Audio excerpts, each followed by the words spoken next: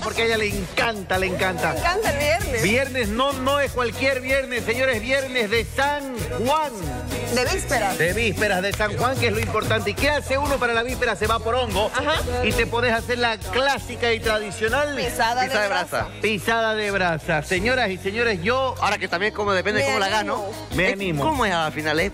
¿Talón, Mira, hay diferentes pisadas de brasa.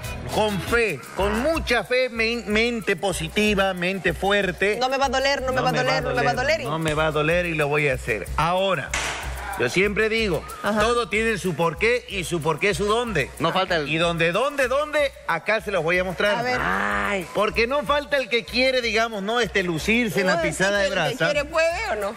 El que quiere puede y el que no puede que se siente y que no aplauda porque peor si se siente en las brasas. Señoras y señores, tengan mucho cuidado al momento de cruzar las brasas. No vaya a ser que le pase lo que le pasó a este cristiano. A ver. Con ustedes revista. ¿ah? Viral.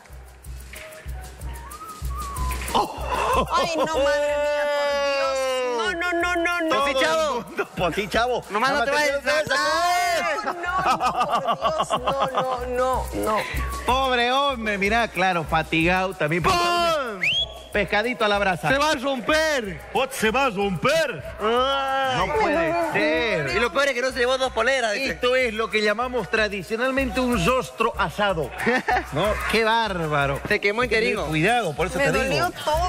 Que le dolió. Imagínese si usted no es la que ha pisado. ¿Cómo será el que los pisó las brasas? Ay, imagínate, el otro día el jefe, ¿cómo le va a decir? ¿Cómo llega? Bueno, dicen que se quemó el hombre en la sociedad. Dice que anda quemadísimo. Sí, tisneó, dicen. Se tisneó, sí, sí, sí. Por Así eso que hay que tener mucho respetamiento y mucho cuidado. No cualquiera pasa las No brasas. cualquiera, no, no, lo cualquiera. intente en casa. Guante de ir a la brasa, así, digamos, limpiar todo el camino para que no haya la piedrita intrusa donde vos te des. Sobre todo a algunas que nunca anduvieron descalzas, digamos, ¿no? Oh, yo paraba descalza. ¿A vos sos talón partido? No, pero paraba descalza, no es necesario. Angélica, anda a la venta y tac, tac, tac, tac, los taloncingos corriendo. Se me hace que se ponía la chinelita acá, ¿no? Tac, de ahí. Obvio. Vas a decir que vos nunca usaste chinela. Este la usaba para ser arquero. Ya, él nunca andó descalzo ni usó chinela. Bueno, la pregunta es...